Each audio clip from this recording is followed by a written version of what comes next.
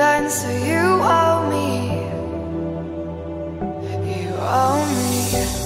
There is nowhere to hide. This is not a safe place.